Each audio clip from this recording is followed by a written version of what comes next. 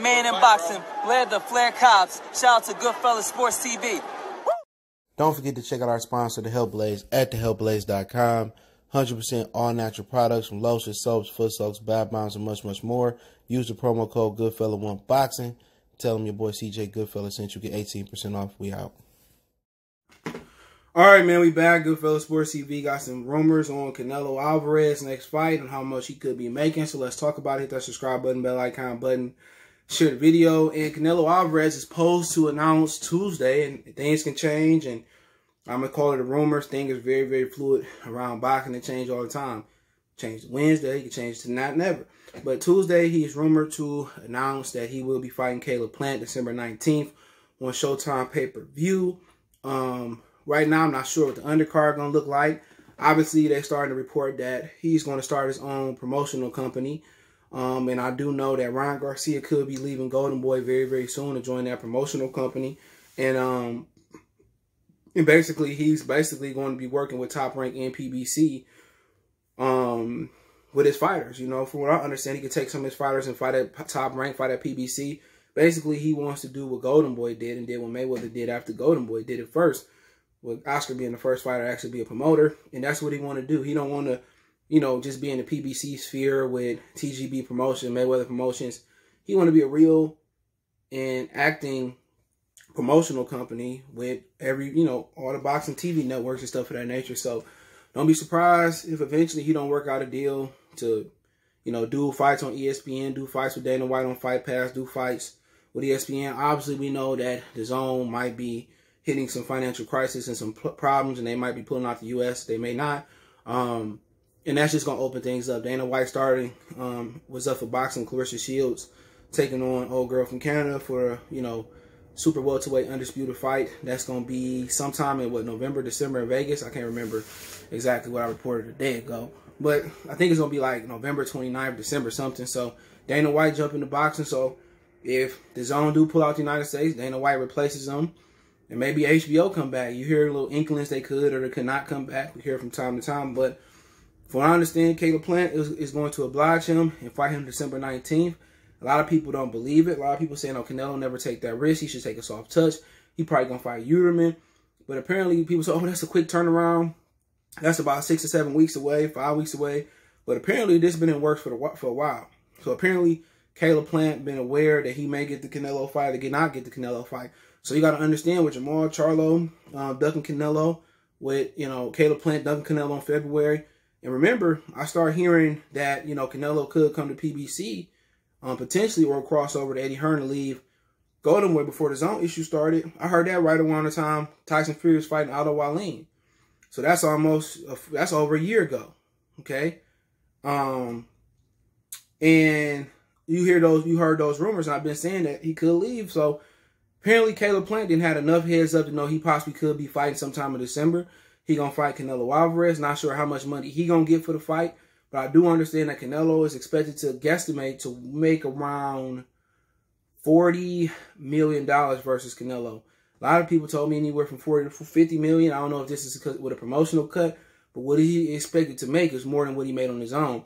Now I heard that he made eighty-five million dollars on his own, not including the Rocky Fielding fight. So Danny Jacobs, Kovalev. It was three fights he fought over there. Danny Jacobs, Kovalev. Think it was the two. I mean, he fought Rocky Fielding. Danny, I think he fought three fights and all. He made $85 million over there. I can't remember. I know it was Danny Jacobs, Kovalev. Maybe with Rocky Fielding, that's what he made. I don't know. Um, but um, that's what he made. So at the end of the day, um, Caleb Plant expected to step up to the to the plate. The fight is supposed to be announced Tuesday. Rumored that can't change. He Canelo supposed to be starting his own promotional company. He been had one. If you notice, the majority of his fighters that's in the promotional company, they were working with Eddie Hearn and Matchroom and not working with De La Hoya. That's how you know like some the, the relationship with him and Canelo or Canelo and Oscar De La Hoya really soured over the years. So so yeah, that's the really the lowdown, you know, for the part if you hang around get some more. Uh, lowdown for that for that. And I'm not sure how much Caleb Plant gonna be getting, but it might be in the neighborhood of $10 million, $8 million. Um, his opponent list, like I said before, is Caleb number one, Yildirim, uh, Callum Smith, and Eubanks are all guys that could get the fight.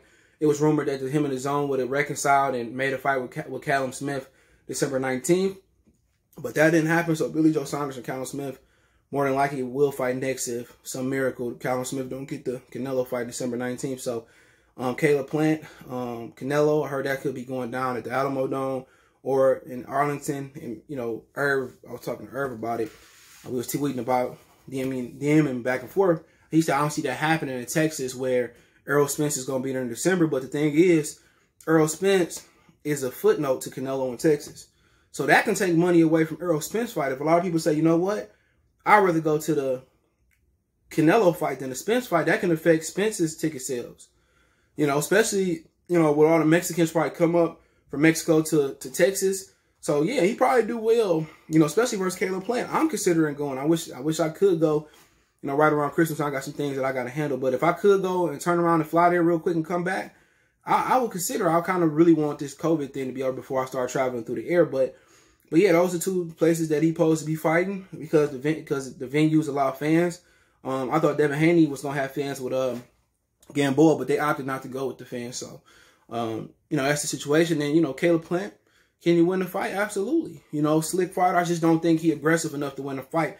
I can see a situation where you know he can be in there in a situation like uh, Lara, or he could be in a situation like Austin Trout. You know, and just not aggressive enough, but it must be enough money and enough heads up for Caleb Plant. He must have knew him since he probably knew he can get that fight probably since October, October, maybe uh, even September. He knew this was a possibility for a long time. And you know what I understand is in May, Canelo Kid turn around and also fight fight Gennady Golovkin as well too.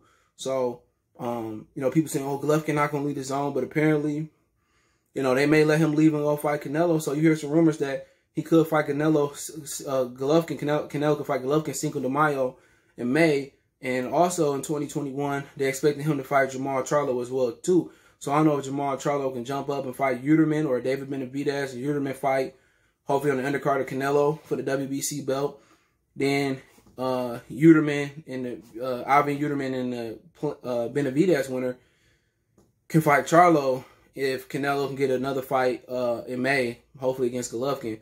Then he could turn around and fight Jermall Charlo Benavidez winner in September. Or you might just get a situation where Canelo, you know, beat Caleb Plant.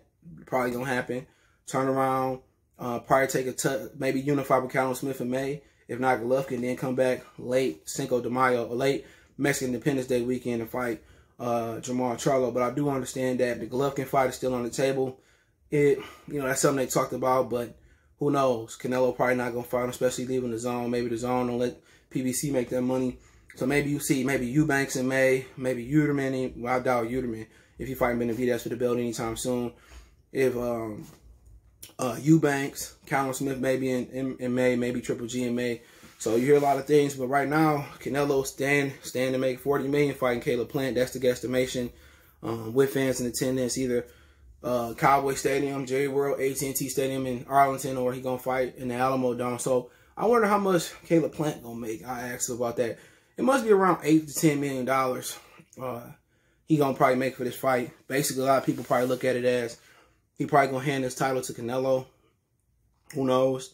I just don't. I think he got the power to do well from versus Canelo. I just don't think he got enough aggressiveness. I mean, he might can outpoint Canelo, you know, but he ain't gonna get the decision, especially in Texas. So Caleb Plant, it must be enough money for him basically to go get robbed for his IBF belt. You know, obviously, you know, we all would prefer him to fight David Benavidez, but that was supposed to happen this year. But late last year, David Benavidez was pricing himself out. They wanted to build the fight up. So you might get a situation where you may never get Benavidez and Plant at all. Canelo might fight Plant and eventually fight Benavidez, eventually fight Jermall Charlo. But I do know he's slated to fight Jermall Charlo sometime next year if everything goes as planned. So, you know, Canelo, I'd rather see Benavidez and Plant fight, but Canelo probably gonna get Plant. And who knows if Plant could pull it off? Pretty sure Canelo got a rematch clause. Him not even being the champion, but if Plant can pull it off, probably turn around and fight Benavidez, and hopefully Benavidez get his WBC title away from um, um what's up boy name from Yildirim. He get it back, and then they could do it. But just little rumors I'm hearing now. Let me know what you guys think about them. Um, and I think that's it. So yeah, that's pretty much it. Let me know what you guys think. Don't forget me on Facebook, Instagram, Twitter. Reach out if you have a business question, inquiry, sponsorship, video question, or you want to advertise on the channel. Hit me up. Twitter's the fastest way, then Facebook, then Instagram. We got a Facebook group. All those links in the description. Uh, want to make a donation? Best way to donate is share the video, hit that subscribe button, bell icon button. Check out the backup channel, Goodfellas Sports TV 2.0. Um, I'm doing all the live streams over there because right now can't go live over here. But other than that, you want to make a financial donation? Cash App CJ Good 313. Appreciate those. PayPal link in the description. Check me out. Appreciate the love support. All my information there. Appreciate it. One time for the one time we gone.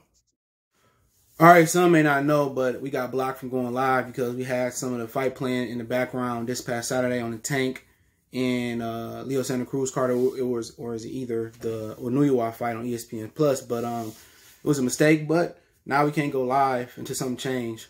Uh, let something change until January 29th, basically February. So I want you guys to follow me on Sportscasters, S P O R T S C A S T R, and I'll put the link in. The, or I'll put the link in the description That'll be the first link. Or you can follow me on Goodfellas Sports TV 2.0. Um, and I'll be doing my live streams both there at the same time. So any live football, basketball, you know, anything in between that, make sure you ch check out Sportscastr for your boy. Check it out. Um, I'll put that little uh, thumbnail or little thing on the screen, but the link will be in the description. They monetize from day one. It's a YouTube alternative, so I will be there permanently. So I might be going live there and YouTube if I get my channel back or my live stream back at the same time. Appreciate everybody, but Goodfellas Sports TV 2.0 link in the description and Sportscastr link in the description. If you want to press the link, it is on sportscastr.com. It's just Goodfellas Sports. One word. Appreciate it. We gone.